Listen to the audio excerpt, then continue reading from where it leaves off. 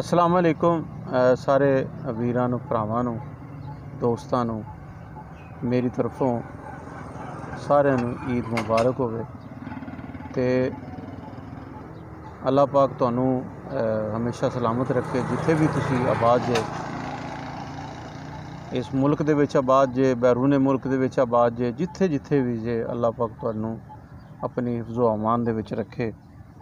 ਤੇ ਕਾਫੀ ਦਿਨ ਹੋ ਗਏ ਸੀ ਤੁਹਾਡੇ ਨਾਲ ਮੁਲਾਕਾਤ ਨਹੀਂ ਹੋਈ ਤੇ ਇੱਕ ਦਿਲ ਉਧਰਿਆ ਹੋਇਆ ਸੀ ਜਿਵੇਂ ਕੋਈ ਕਮੀ ਮਹਿਸੂਸ ਹੁੰਦੀ ਪਈ ਸੀ ਤੇ ਮੈਂ ਕਿਹਾ, ਚਲੋ ਆਪਦੇ ਵੀਰਾਂ ਨੂੰ ਈਦ ਮੁਬਾਰਕ ਆਖਾਂ।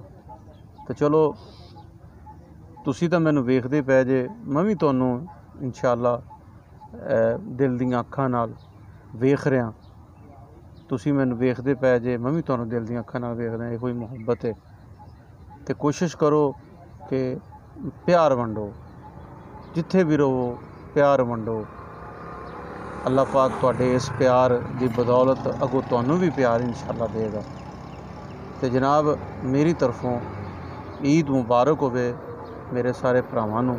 ਦੁਬਾਰਾ ਫੇਰ ਤੇ ਅੱਲਾਹ ਤਾਲਾ ਤੁਹਾਡੇ ਖਾਨਦਾਨਾਂ ਦੇ ਵਿੱਚ, ਤੁਹਾਡੇ ਘਰਾਂ ਦੇ ਵਿੱਚ ਰਹਿਮਤ ਕਰੇ।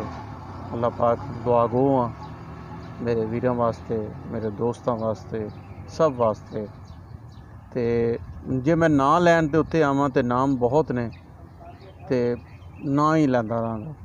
ਪਰ ਇਹ ਕਿ ਜਿੰਨੇ ਵੀਰ ਨੇ ਮੇਰੇ ਸਾਰੇ ਦੋਸਤ ਨੇ, ਸਬਸਕ੍ਰਾਈਬਰ ਨੇ, ਜਿਹੜੇ ਮੈਨੂੰ ਦੇਖਣ ਵਾਲੇ ਨੇ, ਨਹੀਂ ਵੀ ਦੇਖਣ ਵਾਲੇ, ਜਿੱਥੇ ਜਿੱਥੇ ਕਿ ਯਾ ਅੱਲਾਹ ਪਾਕ ਰਹਿੰਦੇ ਨੇ, ਅੱਲਾਹ ਪਾਕ ਉਹਨਾਂ ਦੇ ਉੱਤੇ ਰਹਿਮਤ ਕਰੇ। ਤੇ ਜਨਾਬ ਇੱਕ ਦੋਸਤ ਸੀ, ਉਹਨੇ ਮੈਨੂੰ ਕਿਹਾ ਕਿ ਬਾਬਾ ਜੀ ਇੱਕ ਮੇਰੇ ਕੋਲ ਘੋੜਾ ਹੈ, ਚਲੋ ਉਹ ਵੀ ਤੁਹਾਡੇ ਨਾਲ ਜਿਹੜੀ ਉਹ ਨਿਊਜ਼ ਸ਼ੇਅਰ ਕਰ ਦਿੰਦੇ ਆ ਜਨਾਬ। ਤੇ ਘੋੜੀ ਹੈ ਜੀ ਜੇਲਮ ਵਾਲੇ ਇਲਾਕੇ ਦੇ ਵਿੱਚ ਘੋੜਾ ਹੈ ਸੌਰੀ ਘੋੜਾ ਹੈ ਜੀ ਜੇਲਮ ਵਾਲੇ ਇਲਾਕੇ 'ਚ। ਹੁਣ ਮੈਨੂੰ ਨਜ਼ਰ ਹੀ ਨਹੀਂ ਆਣਾ ਇੱਕ ਮਿੰਟ ਠਹਿਰ ਜਾਓ।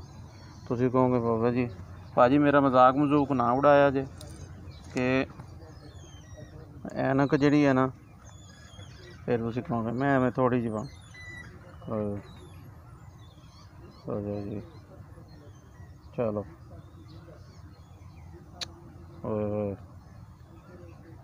ਹਾਂਜੀ। ਇਹ ਜਨਾਬ 3 ਸਾਲ ਦਾ ਘੋੜਾ ਹੈਗਾ ਤੇ ਡਿਮਾਂਡ ਜਿਹੜੀ ਹੈਗੀ, ਉਹ ਕਹਿੰਦੇ ਜੀ 1.5 ਲੱਖ ਰੁਪਈਆ ਸੀ ਡਿਮਾਂਡ ਕਰਨੇ ਆ। 3 ਸਾਲ ਦਾ ਘੋੜਾ ਹੈ ਤੇ ਨੰਬਰ ਜਿਹੜਾ ਹੈਗਾ ਮੁੰਡੇ ਦਾ ਤੁਹਾਨੂੰ ਮੈਂ ਸ਼ੇਅਰ ਕਰਨਾ। 0345 57 15 738 ਦੁਬਾਰਾ ਫੇਰ ਜੀ ਲਿਖ ਲਓ। ਦੁਬਾਰਾ ਜੀ ਫੇਰ ਲਿਖ ਲਓ। 0345 57 15 738 ਇਹ ਜੀ ਉਹ ਮੁੰਡੇ ਦਾ ਜਿਹੜਾ ਹੈਗਾ ਮੇਰੇ ਵੀਰ ਦਾ ਫੋਨ ਨੰਬਰ ਜੇ। ਤੇ ਐਨਕ ਵੇਖ ਕੇ ਤਾਂ ਮੇਰਾ ਮਜ਼ਾਕ ਨਾ ਉਡਾਇਆ ਜੇ। ਘੋੜੇ ਦੀ ਕੋਈ ਤਸਵੀਰ ਹੈਗੀ? ਤੇ ਜਨਾਬ WhatsApp ਦੇ ਉੱਤੇ ਉਹਨੇ ਮੈਨੂੰ ਵੀਡੀਓ ਕਲਾਈ ਹੈ ਹੁਣ ਮੈਂ ਸਾਰਿਆਂ ਨੂੰ WhatsApp ਦੇ ਉੱਤੇ ਤਾਂ ਨਹੀਂ ਕਲਾਣਾ ਤੁਹਾਨੂੰ ਮੈਂ। ਨੰਬਰ ਡਾਇਰੈਕਟ ਦੇ ਦੇਣਾ ਉਹਨੂੰ। ਜ਼ਰਾ ਕਰੋਗੇ ਨਾ ਕਾਲ ਤੇ ਘੋੜੇ ਦੀ ਜਿੰਨੀ ਵੀ ਹੈਗੀ ਹੈ, ਉਹ ਸਾਰੀ ਜਿਹੜੀ ਉਹ ਤੁਹਾਨੂੰ ਦੇ ਦੇਗਾ ਇਨਫੋਰਮੇਸ਼ਨ ਤੇ ਵੀਰ ਜੀ, ਮੈਂ ਇੱਕ ਛੋਟਾ ਜਿਹਾ ਮੇਰਾ ਮੈਸੇਜ ਵੀ ਹੈ। ਤੇ ਜਨਾਬ ਮੈਸੇਜ ਇਹ ਹੈਗਾ ਕਿ ਅਗਰ ਕਿਸੇ ਕੋਲੇ, ਮੈਂ ਹਰ ਵੀਡੀਓ ਦੇ ਵਿੱਚ ਹੀ ਇਹ ਕਹਿਣਾ ਕਿ ਅਗਰ ਕਿਸੇ ਕੋਲੇ ਇਸ ਤਰ੍ਹਾਂ ਦਾ ਕੋਈ ਸ਼ੌਕ ਹੈ, ਤੇ ਉਹ ਤੁਸੀਂ ਮੈਨੂੰ ਦੱਸੋ। ਮੈਂ ਤੁਹਾਡੇ ਨਾਲ ਵਾਅਦਾ ਕਰਨਾ ਕਿ ਮੈਂ ਇਹ, ਤੁਸੀਂ ਮੈਨੂੰ ਦੱਸ ਦਿਓ ਕਿ ਚਲੋ ਨਾ ਵੇਚਣੇ ਹੋ, ਠੀਕ ਹੈ।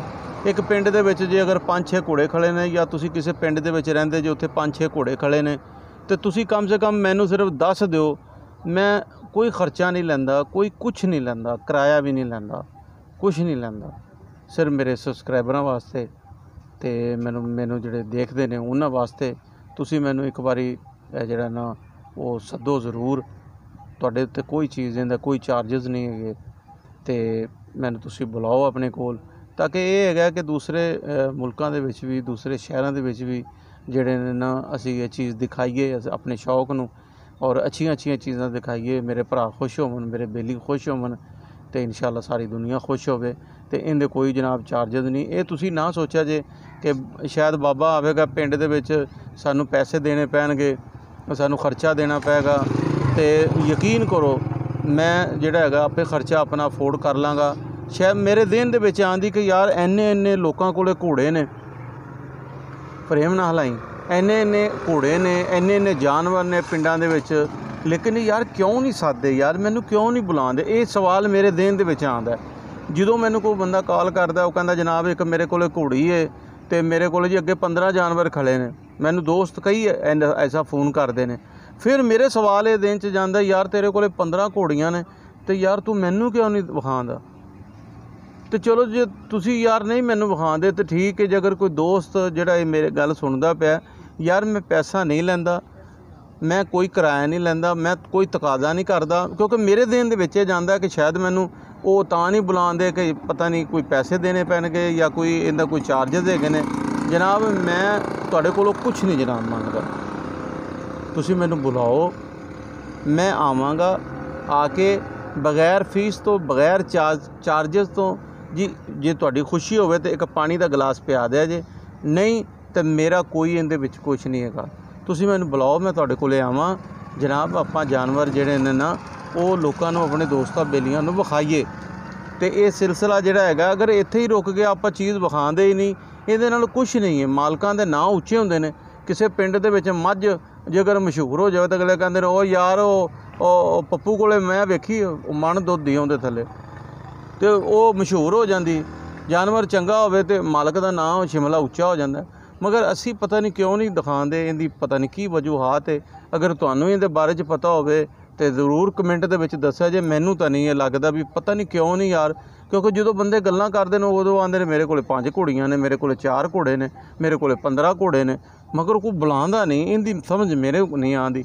ਜੋ ਮੇਰੇ ਦਿਮਾਗ ਦੇ ਵਿੱਚ ਸਮਝ ਜਨਾਬ ਆਈ ਹੈ ਉਹ ਇਹ ਆਈ ਹੈ ਕਿ ਯਾਰ ਰੱਬ ਨਵਾਜ਼ ਹੋ ਸਕਦਾ ਕਿ ਤੈਨੂੰ ਪੈਸੇ ਨਾ ਦੇਣ ਦੀ ਵਜ੍ਹਾ ਨਾਲ ਜਾਂ ਆਖਣਗੇ, ਯਾਰ, ਉਹ ਐਡੀ ਦੂਰੋਂ ਆਵੇਗਾ, ਯਾਰ, ਉਹ ਘੋੜਿਆਂ ਦੀ ਉਹ ਬਣਾਵੇਗਾ ਤੇ ਸ਼ਾਇਦ ਕੋਈ ਉਹ ਇੰਨਾ ਖਰਚਾ ਲ- ਲ- ਮੰਗ ਲਏਗਾ ਜਾਂ ਕੀ ਫੀਸ ਹੋਵੇਗੀ ਹੁੰਦੀ ਤੇ ਜਨਾਬ, ਮੈਂ ਕੋਈ ਫੀਸ ਨਹੀਂ ਲੈਂਦਾ, ਮੇਰੇ ਵੀਰੋ, ਮੇਰੇ ਸੱਜਣੋ, ਮੈਂ ਕੋਈ ਫੀਸ ਨਹੀਂ ਲੈਂਦਾ।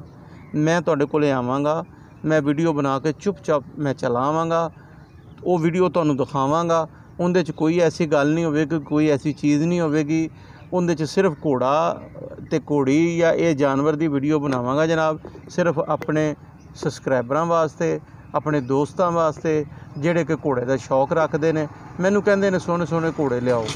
ਤੇ ਜਨਾਬ, ਸੋਹਣੇ ਸੋਹਣੇ ਘੋੜੇ, ਹੁਣ ਸੋਹਣੇ ਸੋਹਣੇ ਘੋੜੇ ਡੇਰਿਆਂ 'ਚ ਨੇ, ਮਾਸ਼ਾਅੱਲਾ ਉਹਨਾਂ ਨੇ ਰੱਖੇ ਹੋਏ ਨੇ। ਉਹ ਮੈਂ ਕਈ ਦਫਾ, ਇੱਕ ਦੋ ਡੇਰਿਆਂ ਦੇ ਵਿੱਚ ਵੀ ਮੈਂ ਗਿਆ, ਮਗਰ ਉਹ ਇੱਕ ਵਾਰੀ ਜਾਂਦੇ ਨੇ, ਫਿਰ ਉਹ ਕਹਿੰਦੇ ਨੇ, ਦੂਰੋਂ ਮੈਨੂੰ ਵੇਖਦੇ ਨੇ, ਬਾਬਾ ਜੀ ਆ ਗਏ। ਤੇ ਉਹ ਆਂਦੇ ਨੇ ਜੀ ਤੁਹਾਨੂੰ ਵੀਡੀਓ ਬਣਾਉਣ ਦੀ ਇਜਾਜ਼ਤ ਨਹੀਂ ਹੈਗੀ ਤੁਸੀਂ ਜਾਓ। ਇੱਕ ਇੱਕ ਦੋ ਦਫਾ ਐਸਾ ਹੋਇਆ ਕਿ ਮੈਂ ਗਿਆ ਮੈਂ ਕਿਹਾ ਜਨਾਬ ਅਸਲਾਮ ਵਾਲੇਕੁਮ ਤੇ ਉਹ ਦੂਰੋਂ ਹੀ ਵੇਖ ਲੈਂਦੇ ਨੇ ਕਿ ਪਤਾ ਨਹੀਂ ਬਾਬਾ ਕੀ ਕਰਦਾ ਪਿਆ ਜਾਂ ਕਿਉਂ ਬ- ਆਇਆ ਹੈ, ਤੇ ਉਹ ਵੀਡੀਓ ਨਹੀਂ ਬਣਾਉਣ ਦਿੰਦੇ।